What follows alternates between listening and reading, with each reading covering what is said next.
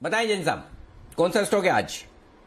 बिल्कुल, एक बेहतरीन कंपनी है नेलकास्ट लिमिटेड देखिए नेलकास्ट सबसे बढ़िया बात यह है कि ऑटो इंसलरी स्टॉक्स काफ़ी माहौल बना हुआ है और रीओपनिंग थीम और ओपनिंग थीम के हिसाब से चलेंगे ये सारे स्टॉक्स और पिछले, अगर देखें तो डेढ़ दो साल इन कंपनियों के लिए बहुत अच्छा नहीं रहा बट आगे आने वाले साल बहुत अच्छे रहेंगे।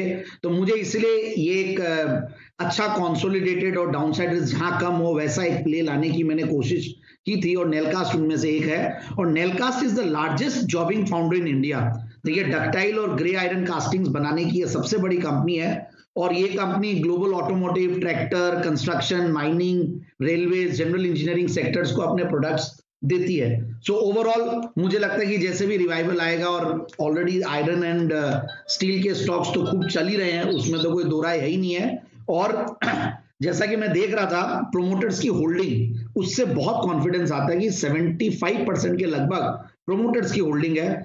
फिर मैं रिटेल इन्वेस्टर्स की अगर वो देख रहा था तो वहाँ पे भी सात आठ परसेंट स्ट्रॉन्ग हैंड्स में है जो कि अपने उस चीज़ को पकड़े रखते हैं, बेचते नहीं है तो वैसे अगर देखा जाए तो बिरासी से पिचासी, तिरासी, चौरासी परसेंट के लगभग स्टेक जो है, एकदम उन हैंड्स में है जो कि बेचते नहीं है। तो मुझे लगता है कि रिटेल होल्डिंग बहुत कम है और आने वाले दिनों में ये स्टॉक बहुत अच्छा कर सकता है, क्योंकि मुझे लगता है रिटेल ये ऑटो इंसलरी स्टॉक्स बहुत बढ़िया करेंगे और ये बहुत अच्छा समय है इन स्टॉक्स को लेने का।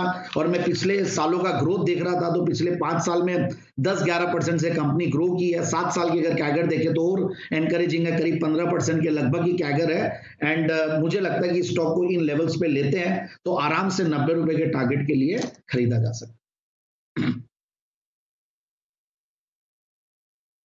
नब्बे रुपए तक के टारगेट के लिए करें आप खरीदारी। ये है आपके लिए। नेलकास्ट ये आ, एक ऑटो एंसिली कंपनी जहाँ पर खरीदारी करने की राय जैन साहब की तरफ़ से आती दिख रही है। जेन जैन साहब का एक बेहतरीन स्टॉक है जो आपके लिए इस वक्त है। तैयार आइए तैयार है वागले साहब। वागले